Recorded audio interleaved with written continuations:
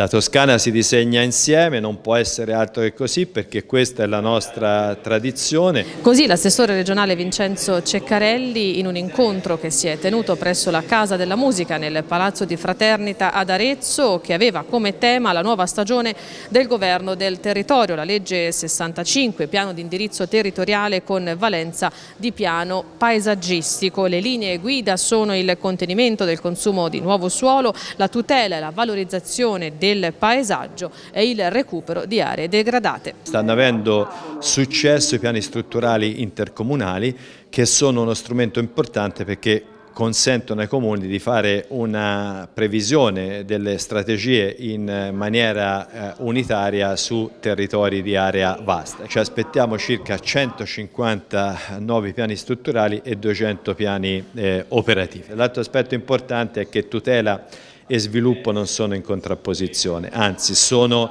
eh, tutte e due componenti di un corretto sviluppo sostenibile e durevole, proprio così come eh, recitano eh, le premesse sia della legge sia del piano paesaggistico. Non sempre i periodi di congiuntura economica favorevole come quello che abbiamo vissuto in passato hanno portato a esempi tutti positivi, anzi abbiamo assistito anche a esempi negativi. Per questo è importante la rigenerazione dello spazio urbano, in questo senso la normativa dà una mano, anche se c'è ovviamente la complessità delle risorse economiche sono necessarie a rigenerare spazi che avevano altre funzioni che devono essere invece riportati all'utilizzo della collettività.